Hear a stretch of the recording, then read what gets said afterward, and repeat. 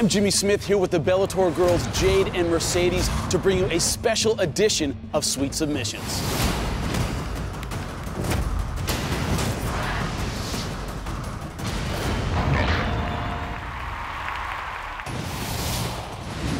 Jade will be playing as Daniel Straus and Mercedes will enter the cage as Patricio Pitbull Freire.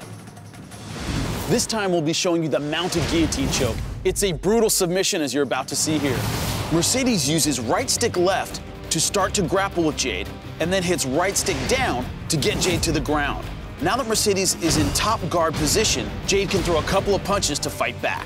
But Jade's best option when Mercedes is on top of her in guard position is to counter by hitting her right stick down and pounding the face buttons to execute the guillotine.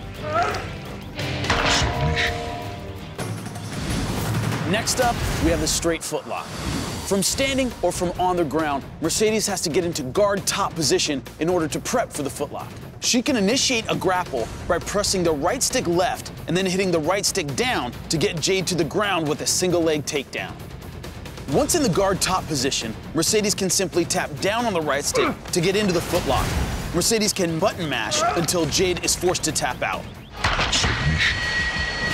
Thanks for watching our special gaming edition of Sweet Submissions. Your home for all things Bellator MMA Onslaught is BellatorTheGame.com. Watch out for the game this summer, available for download on Xbox Live Arcade and PlayStation Network.